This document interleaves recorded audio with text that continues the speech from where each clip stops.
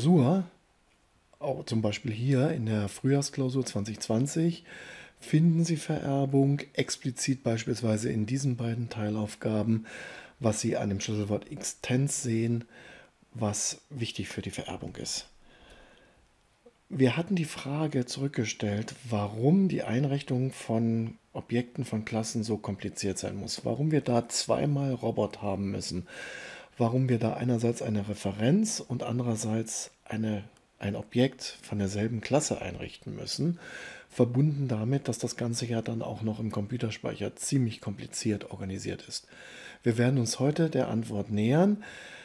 Wichtiger Punkt dabei ist hier, dass links und rechts dasselbe steht, jeweils hier in diesem Beispiel Klasse Robot. Das ist nicht immer der Fall, überhaupt nicht immer der Fall, sondern hier rechts, wo der Typ des Objekts steht, kann auch ein, eine Klasse stehen, die von der Klasse links abgeleitet ist. Solche Konstrukte sehen wir uns heute an. Und wir starten mit einem ersten einfachen Beispiel, das eine erste gute Begründung dafür liefert, wozu Vererbung gut ist, nämlich um Funktionalität einer Klasse zu erweitern.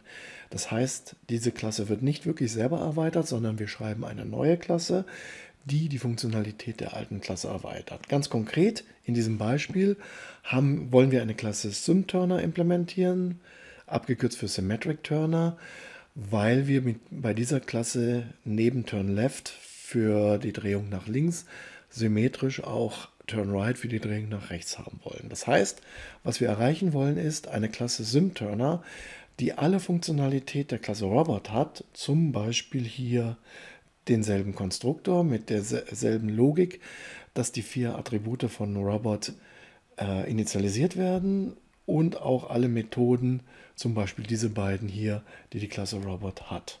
Und zusätzlich jetzt aber eine Methode TurnRight. Diese Methode TurnRight haben wir bei der Implementation der Klasse Robot ausgelassen, um an dieser Stelle dann zeigen zu können, was es heißt, dass die Funktionalität einer Klasse in einer davon erbenden Klasse erweitert wird. In UML, in UML-Diagrammen sieht das Ganze dann so aus. Sie haben hier einerseits die Basisklasse und hier die davon erbende, die erweiternde, davon abgeleitete Klasse. Ja, wir können alles drei sagen. Symturner erbt von Robot, ist abgeleitet von Robot, erweitert Robot. Äh, und Sie sehen auch, was das hier heißt. Ähm, Symturner, wie gesagt, hat alle Funktionalität von Robot und hier schreiben wir dann nur noch als Public-Methode die zusätzliche Methode TurnRight hinein, die Robot noch nicht hat. Und das hier ist die gesamte Implementation der Klasse SimTurner. Die ersten drei Wörter Public Class SimTurner sind so wie bisher auch immer, dass wir da eine Klasse mit diesem Namen SimTurner eben definieren.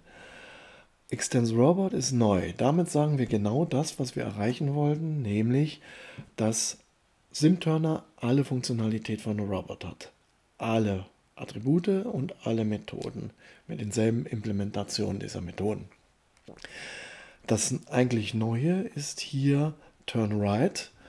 Ja, wie kann man 90 Grad Drehung nach rechts realisieren, indem man dreimal 90 Grad nach links dreht?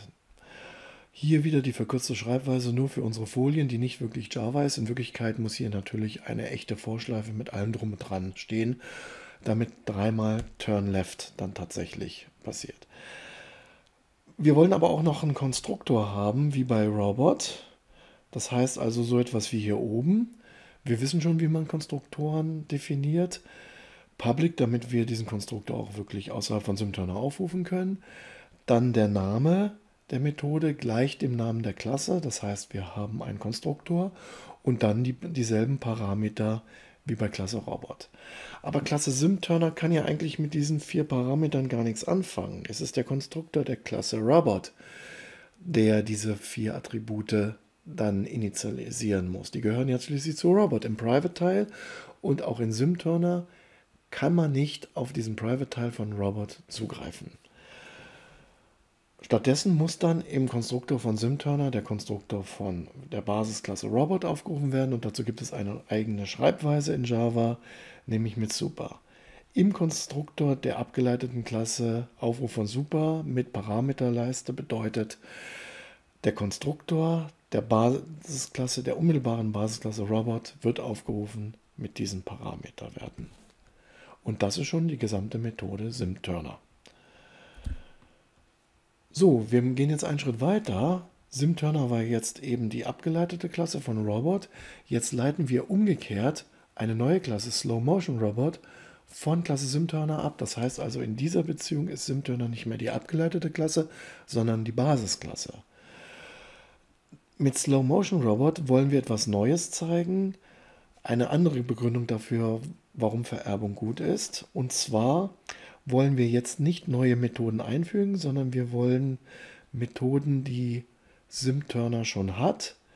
Einerseits ererbt von Robot, wie Move und Turn Left, andererseits ererbt von SimTurner, Turn Right. Die wollen wir modifizieren, die wollen wir überschreiben mit neuen Implementationen, die ein bisschen anders funktionieren. Und zwar ganz konkret wollen wir hier noch ein Attribut Delay haben für in jedem Objekt von Slow Motion Robot ein Attribut mit einem für dieses Objekt spezifischen Wert für Delay. Und dieser Wert gibt in Millisekunden an, nach jedem, in jedem Aufruf von Move, Turn Left und Turn Right, wie lange dann der ganze Prozess pausieren soll, um dann dem Zuschauer zu zeigen, was eigentlich nach jedem Move, Turn Left, Turn Right tatsächlich passiert ist. Und so sieht dann die Gesamthierarchie aus. Diesen oberen Teil haben wir schon. Von Robot haben wir SimTurner abgeleitet. Und jetzt müssen wir noch Slow Motion Robot implementieren. Und zwar ebenfalls wieder als abgeleitet von SimTurner. Das ist eine Schreibweise, die oft auch verwendet wird, um zumindest die, die Daten, die Attribute von, von Klassen bei Vererbung darzustellen. Sie können sich das so vorstellen, wir haben die Klasse Robot mit den vier Attributen, die Sie ja schon kennen, enthalten in einem Objekt der Klasse SimTurner. SimTurner hat jetzt keine weiteren Daten, keine weiteren Attribute, sodass also das Objekt von SimTurner und das Objekt von Robot identisch sind. Wiederum enthalten in einem Objekt von Klasse Slow Motion Robot, die aber jetzt ein weiteres Attribut Delay hat, sodass also das Objekt von Robot SimTurner in dem Objekt von Klasse Slow Motion Robot enthalten ist. Oder alternativ Sie sich das auch wieder so vorstellen, wie wir das typischerweise machen mit Computerspeicher. Ähm, hier Rob 1, das ist der übliche Fall, wie wir ihn bisher immer gesehen haben. Rob 1 verweist auf ein Objekt von Klasse Robot und, und dieses Objekt von Klasse Robot hat eben die vier Attribute von Klasse Robot. Rob 2 verweist auf ein Objekt von Klasse Slow Motion Robot und Slow Motion Robot hat neben den vier Attributen, die von Robot an SimTurner und von SimTurner an Slow Motion Robot weiter vererbt worden sind, noch ein zusätzliches fünftes Attribut Delay. Und jetzt fangen wir an, diese Klasse Slow Motion Robot zu implementieren. Wieder dasselbe, wir, wir nennen die Klasse Slow Motion Robot, Public Class Slow Motion Robot, wie immer, wissen jetzt, wie das geht, dass Slow Motion Robot die Klasse SimTurner erweitern soll, nämlich mit Extends SimTurner. Wir haben schon gesagt, wir wollen dieses Attribut Delay als Private-Attribut wieder drin haben. Ähm, wir haben, wollen jetzt einen Konstruktor haben mit fünf Parametern. Die vier von Slow Motion Robot, X, Y, Direction und Number of Coins und zusätzlich Delay. Wir wissen schon, wie die vier Attribute von, äh, von Klasse Robot zu setzen sind. Das haben wir eben bei SimTurner gesehen, nämlich durch Aufruf dieser des, der, des Konstruktors der Basisklasse mit diesen Parametern. Dieser Aufruf von Super ruft den Konstruktor von der direkten Basisklasse SimTurner auf und der, das haben, so haben wir es implementiert, ruft den Konstruktor mit denselben Parametern von seiner direkten Basisklasse Robot auf. Das heißt also indirekt wird hier hiermit der Konstruktor von der indirekten Basisklasse Robot aufgerufen und dann muss nur noch der Delay korrekt gesetzt werden, auch initialisiert werden, wie die anderen vier Attribute.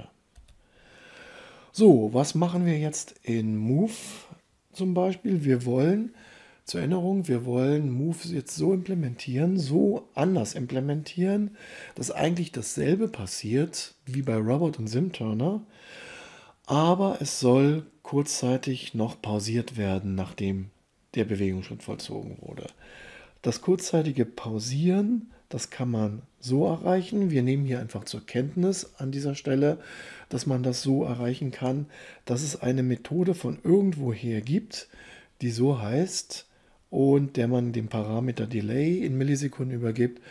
Und dieser Methodenaufruf sorgt dafür, dass entsprechend lange hier dann der Prozess schlafen gelegt wird, wie der Name Sleep ja sagt. Vorher soll das normale, der normale Vorwärtsschritt von Klasse Robot dann äh, durchgeführt werden und dafür gibt es eine Formulierungsweise in Java, die ähnlich zu der bei Konstruktoren ist, wie wir das eben bei Konstruktoren gesehen haben, wieder mit super. Mit super.move wird jetzt, wenn die Methode move aufgerufen, der unmittelbaren Basisklasse SimTurner. Dort haben wir Move aber nicht überschrieben, sondern stattdessen einfach, weil wir es nicht überschrieben haben, vererbt bekommen von Klasse Robot, sodass hier also mit Super.move tatsächlich die Methode Move von Klasse Robot, die ja einen Schritt in Blickrichtung des Robots macht, dann aufgerufen wird. Hätten wir hier nicht Super davor geschrieben, sondern nur Move, dann wäre tatsächlich hier diese Methode Move, die wir gerade schreiben, indirekt innen drin nochmal aufgerufen worden. Mit solch, solchen Sachen, dass eine Methode sich selbst aufruft, werden wir uns später erst befassen, im Zusammenhang mit Rekursion. So, Vererbung von Attributen haben wir im Prinzip schon jetzt gesehen anhand der Attribute von Klasse Robot, die an SimTurner und an Slow Motion Robot vererbt worden sind. Hier nochmal ein illustratives, künstliches Beispiel nochmal um den allgemeinen Fall zu sehen. Wir haben hier drei Klassen, x, y, z. x hat nur dieses eine Attribut, y hat noch ein zweites Attribut, z hat noch ein drittes Attribut und Sie sehen hier oben, was passiert. Äh, x klein x verweist auf ein Objekt von Klasse Groß X und das hat nur i als einziges Attribut y hat von Groß X, Groß Y hat von Groß X das Attribut i vererbt bekommen und zusätzlich noch Attribut d. Hier sehen Sie das Objekt von Klasse Groß Y mit diesen beiden Attributen und entsprechend nach derselben Logik das Objekt von Klasse Groß Z hat Attribut i von Groß X, Attribut d von Groß Y und Attribut c in Klasse Z selber noch eingeführt. So, jetzt müssen wir ein bisschen nochmal auf die Zugriffsrechte schauen. Wir kennen Public, wir kennen Protect, Private. Protected kennen wir noch nicht. Das ist, wird jetzt hier nochmal thematisiert auf dieser Folie. Also, sammeln wir nochmal wenn irgendein Attribut oder eine Methode einer Klasse public ist, dann kann man ohne Probleme von überall von außen darauf zugreifen. Ja, dann kann ich ein Objekt der Klasse X, der Klasse Groß X einrichten und kann da problemlos auf, die, äh, auf das Attribut i zugreifen. Wenn hingegen, was wir auch schon kennen, ein Attribut oder auch eine Methode private ist, dann kann man von nirgendwo außerhalb der Klasse Groß X darauf zugreifen. Dann kann man nur in den Methoden der Klasse Groß X darauf zugreifen und nirgendwo sonst. Eine Mittelstellung nimmt jetzt Protected ein. Wenn ein Attribut Protected definiert ist, wie hier dieses Double D, dann darf auch darauf in einer abgeleiteten Klasse wie Y zugegriffen werden. Also auf, auf Public und auf Protected in der abgeleiteten Klasse, auf Private weiterhin nicht. Das ist das, was diese Unterscheidung zwischen Public, Private und Protected, wie ich sie jetzt hier getroffen habe, ist noch nicht ganz vollständig, aber für unsere Zwecke hier reicht sie. Ja, um es vollständig zu machen, müsste ich noch was über Packages sagen. Das machen wir an dieser Stelle jetzt hier nicht. Für unsere Zwecke reicht. Protected hat so eine eine mittlere Funktion, nicht ganz public, sondern nur public auch in den von, von Groß X abgeleiteten Klassen und dementsprechend auch nicht ganz private. So, jetzt gucken wir uns das an nochmal zusammen. Alles zusammengesammelt. Wir haben die Klasse Robot, davon haben wir die Klasse Simturner abgeleitet und davon haben wir die Klasse Slow Motion Robot wieder abgeleitet. Wir haben in Klasse Robot eine Methode Move und genau dieselbe Methode Move, aber mit etwas anderer Implementation, haben wir in Klasse Slow Motion Robot. Und die Frage ist, wie sieht das jetzt eigentlich aus mit den Aufrufen? Da kommen wir jetzt langsam dahin, dass links und rechts auch unterschiedliche Klassen stehen dürfen bei der Einrichtung eines Objektes und einer Referenz. Aber zunächst einmal betrachten wir hier etwas Grundsätzliches. Wir haben noch nicht alles gesagt bisher dazu, was in einem Objekt von einer Klasse drin ist. Wir haben bis jetzt immer nur gesagt, okay, wir haben die vier Attribute der Klasse Robot mitgegeben und diese vier Attribute sind, für die ist in jedem Objekt der Klasse Robot jeweils Speicherplatz reserviert. Was wir aber noch nicht gesagt haben, ist etwas, das Sie auf dieser Folie hier sehen, nämlich, dass noch zusätzlich typischerweise oder eigentlich ganz sicher am Anfang des Objektes noch zusätzlich ein weiteres anonymes, nicht von uns ansprechbares Attribut drin ist, das wiederum ein Verweis ist, die, also die Adresse speichert von einem Objekt, das es nur einmal im ganzen Programm gibt. Und dieses Objekt, auch das können wir nicht direkt ansprechen, das enthält eine ganze Menge von Daten zur Klasse Robot. Und das schauen wir jetzt alles äh, dann an, was das bedeutet, wenn jetzt Vererbung ins Spiel kommt. Wir haben jetzt hier Rob1 von Klasse Robot und haben auch, haben auch ein Objekt von Klasse Robot eingerichtet. So, dieser anonyme Verweis auf die äh, Daten zu Klasse Robot, der enthält einiges an Daten noch, die hier nur ausgegraut sind, die uns hier an dieser Stelle nicht weiter interessieren und enthält noch eine Methodentabelle. Und in dieser Methodentabelle ist ein Eintrag an einer ganz spezifischen Position, ein Eintrag jeweils für jede Methode, die die Klasse Robot hat. Da ist ein Eintrag für Move, ein Eintrag für Turn Left, ein Eintrag für Has Any Coins und so weiter und so fort. Und was steht da drin in diesem, in diesem Eintrag der Methodentabelle? Da steht drin der Verweis, die Anfangsadresse, grob gesprochen, der Implementation von Move, wie wir, wie wir Move in Robot implementiert haben. Und bei Turn Left und bei Has Any Coins entsprechend. So, jetzt haben wir hier die Situation, wir haben von, von Robot, haben wir Simturner abgeleitet und haben hier ein Objekt jetzt, eine, eine Referenz und ein Objekt von Simturner eingerichtet. Und dieses Objekt von Simturner, wie jedes andere Objekt von Klasse Simturner, hat einen anonymen Verweis auf die Daten zur Klasse Simturner. Da sind auch wieder da oben ein paar Informationen drin zur Klasse Simturner, die uns jetzt nicht weiter interessieren und die Methodentabelle. Und in Simturner haben wir ja nichts anderes gemacht, als eine Methode TurnRight zusätzlich hinzuzufügen. Das sehen Sie an der Methodentabelle. Wir haben an derselben Stelle, in derselben Position den Eintrag für Move und der verweist auf dieselbe Anfangsadresse. Und genauso gut bei Turn Left und bei Has Any Coins und so weiter. Und hier haben wir jetzt einen zusätzlichen Eintrag, den wir in der Methodentabelle von Klasse Robot nicht hatten, nämlich für Turn Right. So, wenn ich jetzt beispielsweise Move mit Rob 1 aufrufe, dann wird hier erstmal geschaut auf die Methodentabelle, auf den Eintrag, auf die Position, den Index von Move und diese Methode wird aufgerufen. Wenn ich jetzt dasselbe mache mit ROB2, dann wird hier in diesem anonymen Verweis auf die Methodentabelle von Simturner zugegriffen.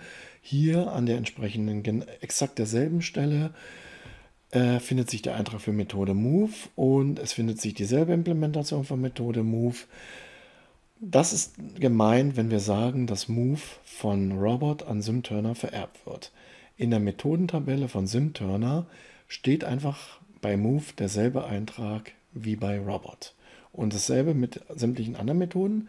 Und es steht noch ein weiterer Eintrag ganz hinten dran auf die neue Methode, auf deren Implementation von TurnRight. So kommt es zustande, dass SimTurner die Methoden von Robot einfach so hat. Es wird jedes Mal das, was ich eben skizziert habe, hier tatsächlich durchgeführt, wenn eine Methode aufgerufen wird. Jetzt ist die Situation ein wenig anders bei Slow Motion Robot, denn bei Slow Motion Robot haben wir die Methoden von Robot Move, Turn Left und Turn Right äh, nicht einfach so äh, übernommen, nicht, äh, nicht einfach akzeptiert, dass wir sie vererbt bekommen haben, sondern wir haben sie in Slow Motion Robot überschrieben und das Ergebnis ist, sehen Sie an der Methodentabelle. An der Stelle, die für Methode Move reserviert ist, steht hier bei Robot Move die Implementation von Move von Robot und hier die Implementation von Move von Slow Motion Robot. Das heißt also, wenn ich Methode Move aufrufe mit Slow Motion Robot, dann wird hier auf die Methodentabelle von Slow Motion Robot zugegriffen und die Implementation Move von Slow Motion Robot wird aufgerufen. Genauso hier bei Turn Right hat es in Robot noch nicht gegeben, aber in SynTurner schon gegeben. Haben wir aber auch überschrieben und deshalb wird hier Turn Right von Slow Motion Robot aufgerufen. Wir haben das Erbe sozusagen verweigert, haben unsere eigenen Methoden Move, Turn Left und Turn Right implementiert und was sich darin niederschlägt, wenn wir jetzt mit Slow Motion Robot diese Methoden aufrufen, dann werden diese anderen Methoden äh, Implementation aufgerufen. Bei Has Any Coins haben wir nichts überschrieben und auch bei den an, allen anderen Methoden von Robot nicht. Diese Methoden, da haben wir dasselbe wie vorher bei SimTurner, die werden weiterhin vererbt. Das heißt also, der Eintrag in der Methodentabelle an der Position von Has Any Coins ist bei Slow Motion Robot derselbe wie bei Robot.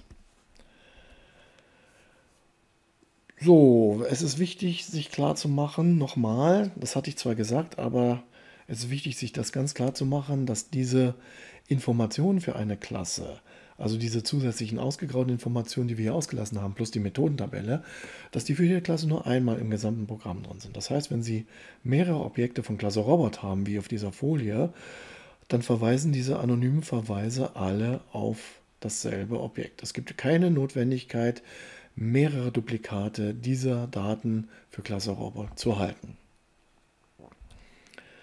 So, jetzt kommen wir endlich wie angekündigt zu der Situation, dass links und rechts unterschiedliche Klassennamen stehen. Der Grund dafür, warum wir das alles so kompliziert haben, ist eben, dass es auch manchmal, so wie hier, komplizierter sein kann, als nur, dass links und rechts derselbe Klassenname steht.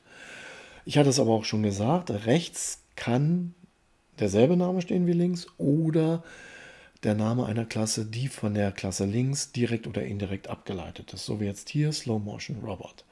So, was passiert jetzt, wenn ich jetzt beispielsweise Move mit diesem Rob aufrufe? Das Objekt ist vom Typ Slow Motion Robot, nicht vom Typ Robot. Der Verweis Rob ist vom Typ Robot, aber das Objekt ist vom Typ Slow Motion Robot. Das heißt also, der anonyme Verweis hier geht auf die Daten äh, von Slow Motion Robot und damit auf die Methodentabelle von Slow Motion Robot und damit auf Move von Slow Motion Robot, Turn Left von Slow Motion Robot, ähm, Turn Right von Slow Motion Robot und Has, nein, äh, Entschuldigung, zu Turn Right komme ich gleich. Aber bei Has Any Coins, das haben wir nicht überschrieben, da haben wir ja eben gesehen, dass die Methodentabelle von Slow Motion Robot densel denselben Inhalt hat an dieser Stelle wie Robot. So, jetzt komme ich zu Turn Right. In Klasse Robot, also der Klasse von Rob, ist Turn Right noch nicht definiert. Und die Regel ist, wenn in der Klasse von diesem Rob noch nicht eine Methode definiert ist, dann darf sie über Rob auch nicht aufgerufen werden. Das hat gute Gründe, die wir uns später auch nochmal genauer ansehen werden.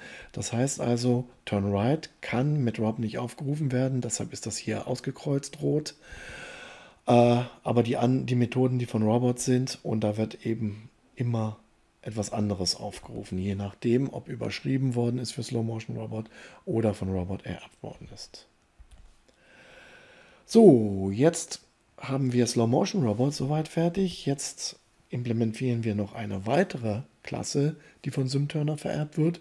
Und Sie haben typischerweise dann solche Bilder wie hier, um das zusammenzufassen, dass diese beiden Klassen dann von SimTurner abgeleitet sind. Also die Pfeile werden dann so zusammengefasst, typischerweise. So, was macht Fast Robot? Fast Robot soll nochmal, ähnlich wie SimTurner, nichts an der Funktionalität ändern, sondern nur eine zusätzliche Methode einführen. Ja, in SimTurner hatten wir die Methode TurnRight zusätzlich eingeführt. Jetzt wollen wir eine zusätzliche Methode Move einführen, die heißt genauso wie die Methode Move von Robot, hat aber eine andere Parameterliste und das bedeutet, Java behandelt diese Methode als eine völlig separate Methode, die mit der Methode Move von Robot überhaupt nichts zu tun hat. Eine zufällige, wenn man so will, Koinzidenz der Namen. Genau, so gut hätten wir die Methoden M1 und M2 nennen können. Das ist vollkommen egal. Das heißt nur zufällig, Natürlich nicht zufällig, denn wir haben das ja absichtlich so gewählt, aber für den Compiler ist das völlig egal, es sind zwei verschiedene Methoden. Sodass also ein Fast-Robot alles machen kann, so wie vorher auch, der Sim-Turner, alles machen kann, was der Robot machen kann, mit Move und Turn Left und jetzt noch eine zusätzliche Methode, die auch Move heißt, aber einen Parameter vom Typ int hat und sagt, deshalb Fast Robot fünf Schritte gleich. Bei, bei einem Move, mit diesem Move, äh, äh, mit dieser Move-Methode, sollen gleich fünf Schritte auf einmal gemacht werden.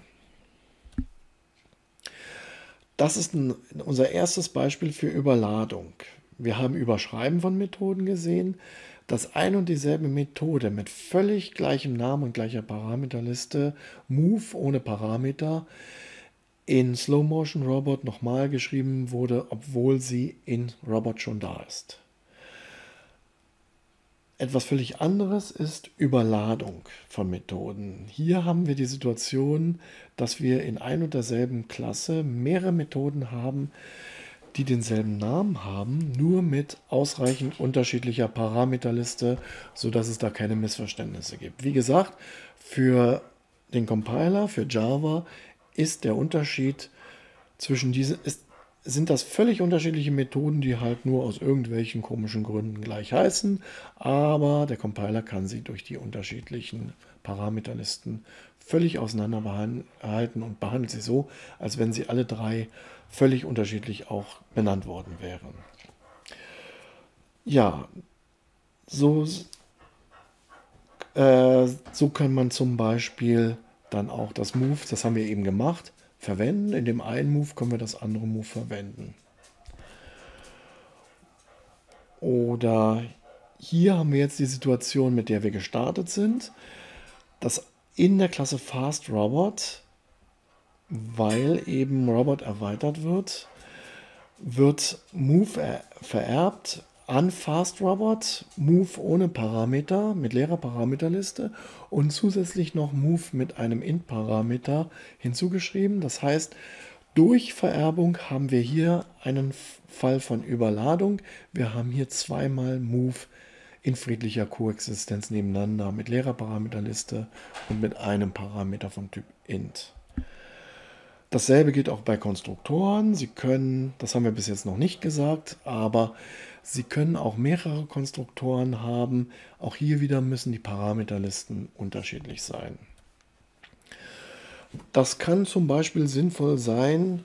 Wir haben ja häufig die Situation, dass wir gar keine Anzahl von Münzen, also dass wir gar keine Münzen haben wollen in einer Anwendung von, äh, von Klasse Robot so dass wir da also zum Beispiel, dass es Sinn macht, für in solchen Fällen einen Konstruktor zu haben, der nur diese drei Parameter setzt, also diese drei Attribute dann auf Basis dieser drei Parameter setzt und die Anzahl der Münzen einfach auf Null setzt.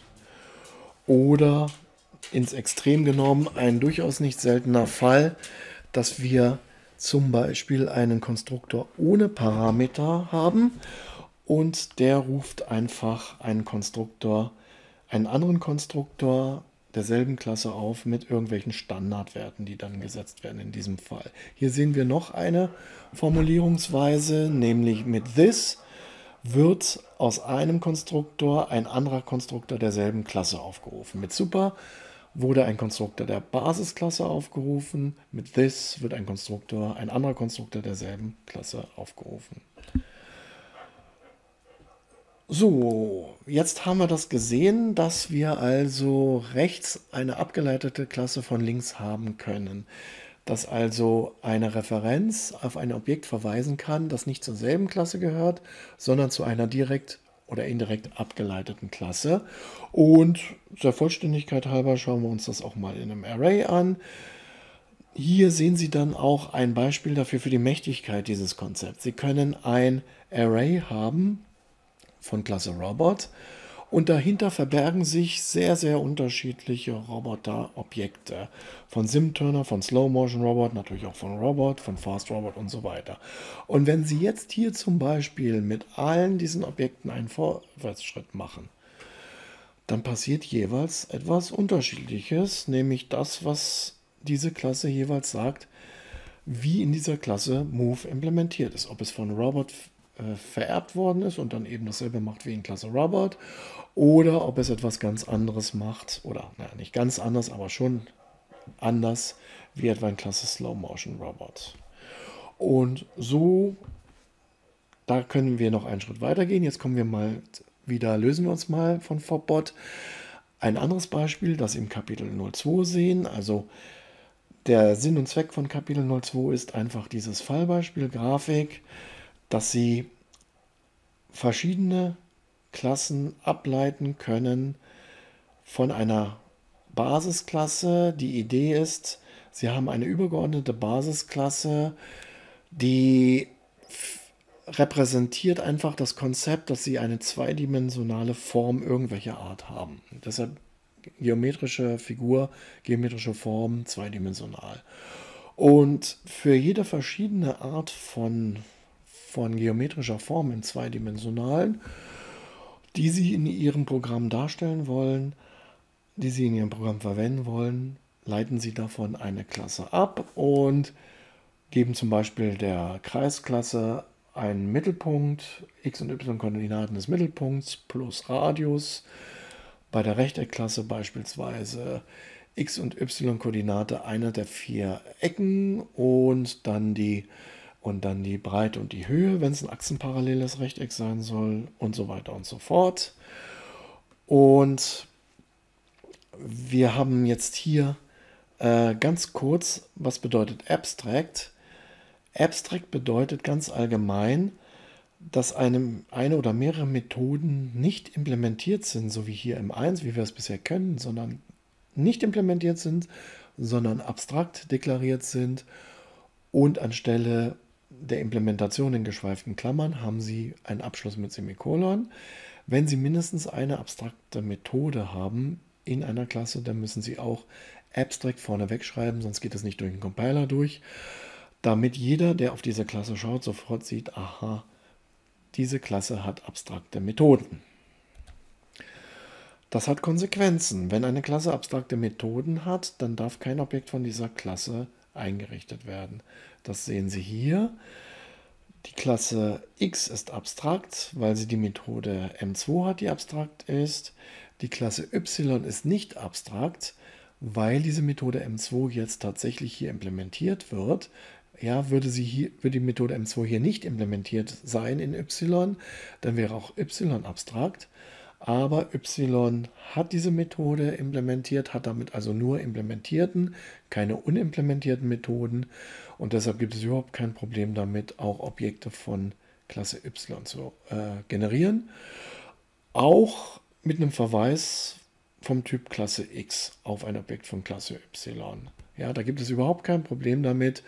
Wenn jetzt eine Methode M1 oder M2 aufgerufen wird mit dem Referenz B oder der Referenz C, dann ist diese Methodenimplementation da, nämlich die Methodenimplementation von Y bei M2 und das kann daher aufgerufen werden. Es gibt überhaupt keinen Grund, das zu verbieten. Das hier muss verboten werden. Äh, denn ein Objekt von Klasse X hat eine nicht implementierte Methode M2 und wenn Sie jetzt hier mit A äh, M2 aufrufen, dann wird eine Methode aufrufen, die gar nicht implementiert ist. Das Ganze kann man natürlich dann noch weiterführen, dass wir zum Beispiel eine Zwischenklasse einführen, die immer noch nicht alle Methoden implementiert hat und deshalb immer noch abstrakt sein muss und erst jetzt hier Klasse Y hat alle Methoden implementiert, dann sehen Sie, was erlaubt ist, was nicht erlaubt ist. Von den beiden abstrakten Klassen dürfen keine Objekte eingerichtet werden. Von der nicht abstrakten Klasse Y dürfen problemlos Objekte eingerichtet werden und es ist egal, von welchem Typ die Referenz ist, die darauf verweist. So, jetzt kommen wir zurück zu dieser äh, geometrischen Figur. Ähm, geometrische Figuren haben ja einiges gemeinsam. Nicht? Jede Art von geometrischen Figur, egal was wir jetzt eben gesehen haben, Kreis, Rechteck, Ellipse und so weiter und so fort, hat gewisse Attribute gemeinsam. Position, x- und y-Koordinate der Position, ein Rotationswinkel, ein Transparenzwert, also wie stark durchscheinend dieses Objekt gezeichnet werden soll und eine, eine Farbe für die Grenze, für die Abgrenzung und eine Farbe für die Füllung. Klasse Color können wir, können wir hernehmen. Die ist in der Java Standardbibliothek. Klasse Color bietet die Möglichkeit, Farben zu definieren in Rot, Grün, Blau Modus. Also als, als Mischung, als Kombination von Rot, Grün und Blau Werten. So, und hier kommen wir jetzt dahin, warum das Ganze sinnvoll ist. Hier sehen Sie jetzt ein Beispiel dafür, warum dieses ganze Beispiel überhaupt sinnvoll ist. Wenn wir jetzt so eine Basisklasse haben wie GeoMShape 2D und alles ist davon abgeleitet, alle konkreten äh, Klassen für konkrete zweidimensionale Gebilde, dann können wir zum Beispiel ein Bild einrichten, schlicht und einfach als ein Array. Hier dieses ein Bild einrichten, Picture nenne ich das sogar, mit drei verschiedenen Komponenten, aus denen sich dieses Bild zusammensetzt. Mit einem Kreis mit irgendwelchen Werten, die angeben, wo dieser Kreis platziert ist und wie groß, welchen Radius er haben soll, mit einem Rechteck, wo dieses Rechteck platziert sein soll und welche Größe es hat, gerade Linie, von wo nach wo diese Strecke gehen soll. So, und jetzt kann ich einfach, so wie wir das vorher gesehen haben, dieses Bild zeichnen, indem ich, ich kann ja nicht für allgemeine Grafikobjekte sagen, was es heißt, das zu zeichnen. Ja? Für einen Kreis, für ein Rechteck, für eine Strecke bedeutet das Zeichnen dieses Grafikobjektes ja jeweils was völlig anderes. Und deshalb wird Paint in GeoMShape 2D abstrakt sein, weil wir gar nicht wissen, wie wir diese Methode hier implementieren könnten. Aber in jeder der abgeleiteten Klasse Circle, Rectangle, Straight Line werden wir dann eine passende Implementation in der Methode Paint dann realisieren. Und wenn jetzt zum Beispiel für i gleich 0 hier dieser Circle gemalt werden soll, dann wird Paint von der Klasse Circle aufgerufen und tut für dieses Circle-Objekt, wenn wir es richtig implementiert haben, dann sicherlich das Richtige. Genauso für i gleich 1 haben wir ein Rechteckobjekt, wird Paint für Klasse Rectangle aufgerufen und tut ja, wenn wir es richtig implementiert haben, genau das Richtige und so weiter und so fort. So, hier sehen Sie dann nochmal die abstrakte Methode Paint in der Basisklasse GMShape 2D, die wir eben nicht implementieren können, weil wir gar nicht wissen, wie eine gemeinsame Implementation des Zeichnens für Kreise, Rechtecke, Strecken und so weiter und so fort aussehen könnte. Und hier wäre beispielsweise Methode Paint für Klasse Circle. Klasse Circle ist abgeleitet von Geom Shape 2D, hat eine Methode Paint, Graphics G, das wird in den, Fol in den Foliensätzen aus der Vorlesung nochmal genauer gesagt. Das ist die Brücke zur Zeichenfläche. Die Zeichenfläche könnte beispielsweise in einer HTML-Seite sein oder in einem Fenster, was von einem Java-Programm aufgemacht wird oder was auch immer. Das ist die Brücke, die Repräsentation der Zeichenfläche und diese Klasse Graphics hat Möglichkeiten, die Sie hier sehen, um auf diese Zeichenfläche, die hinter diesem Grafiksobjekt steht, äh, dieses Grafiksobjekt als Mittler zu dieser Zeichenfläche, um da etwas zu zeichnen. Zum Beispiel um die Farbe zu setzen. Und Classic Graphics hat etwa eine Methode Fill Oval, mit der man Ellipsen zeichnen kann. Aber jeder Kreis ist auch eine Ellipse. Man muss halt nur entsprechend die beiden Radien gleich auf gleiche Größe äh, nehmen und nochmal die Farbe setzen, um den Rand zu zeichnen und dann nochmal mit Draw Oval dann den Rand tatsächlich zu zeichnen mit dieser Farbe, die nach dem zweiten Set Color dann eingestellt ist für das Grafiksobjekt. Damit sind wir da im Prinzip durch. Nur noch eine kleine Bemerkung danach. Es macht durchaus für viele Klassen Sinn, zum Beispiel für die Klasse String aus der Standardbibliothek, die wir uns dann in einem anderen Video noch genauer ansehen. Es macht durchaus Sinn, zu sagen, okay, diese Klasse soll auf, von dieser Klasse soll auf keinen Fall andere Klassen abgeleitet werden. Diese Klasse ist intern so komplex, hat solche Konsistenzbedingungen so ausgefuchst.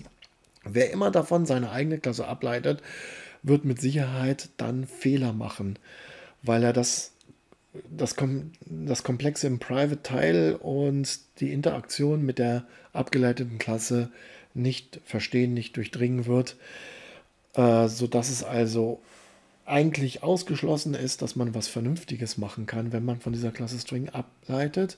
Deshalb gibt es die Möglichkeit, hier Final reinzuschreiben und wenn dann irgendeine Klasse von dieser Klasse abgeleitet wird, wenn man das versucht, geht es nicht durch den Compiler durch, weil eben diese Klasse String Final deklariert ist. So, damit sind wir mit diesem Video zum Ende.